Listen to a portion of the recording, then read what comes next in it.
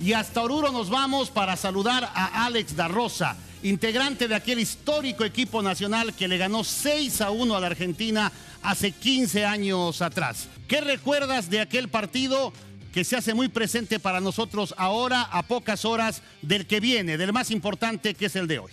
Recuerdo siempre se quedó eh, antes del partido, la concentración, era otro ambiente. Eh, después, dentro del camarín, eh, había una película que el profe William colocó para nosotros, para mirar su partido, para una motivación. todo, todo, todo, todo en esto. voy a entrar en la cancha, escuchando a la gente.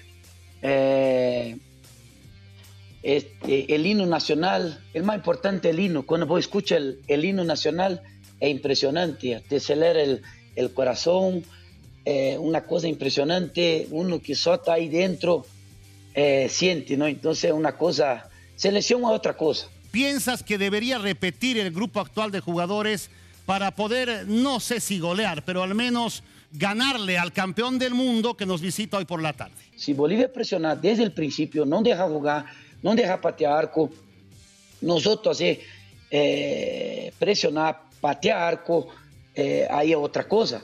Entonces, el fundamental de esa tarde es no dejar eh, que Argentina le guste el partido, le guste a, manejar el, partido. Nosotros tenemos que empezar desde el principio a manejar el partido, a presionar, y intentar hacer el gol